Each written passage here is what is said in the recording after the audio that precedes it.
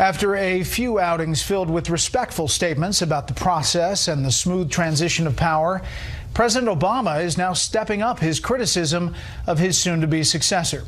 Chief Washington correspondent James Rosen reports from the White House tonight on an outgoing president who finds himself far from home in a tough political spot.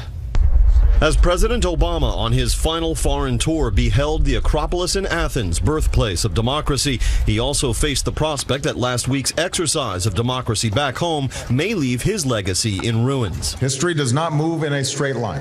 Later, in an address to the Greek people, the president renewed his commitment to a smooth transition, but spoke in his toughest terms yet about the president elect and the meaning of his victory. You may have noticed the next American president and I could not be more different. Faced with this new reality, it's inevitable that some will seek a comfort in nationalism or tribe or ethnicity or sect.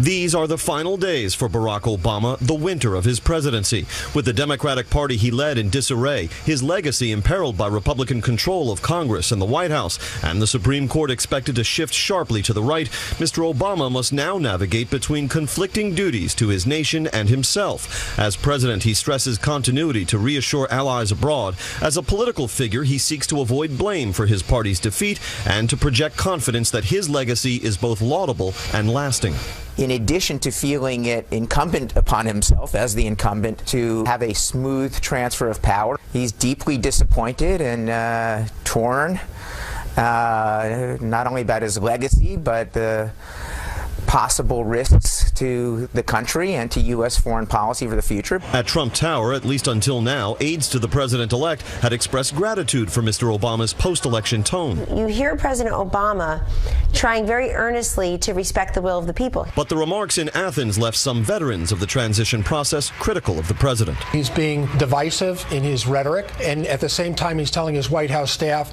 to, to have a smooth transition. You can't have it both ways. His rhetoric has to match his deeds.